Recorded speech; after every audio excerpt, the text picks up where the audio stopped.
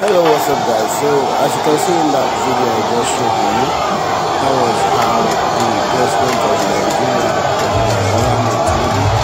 celebrated uh, when Nigeria scored, Nigerian scored the first goal.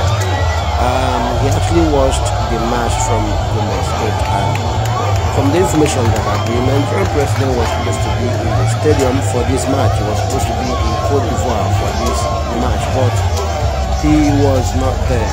Um, so the vice president was and at the end of the day, Nigeria took second in this match. Let me know what you think about the just concluded AFCON match, okay, that uh, took place in Cote d'Ivoire.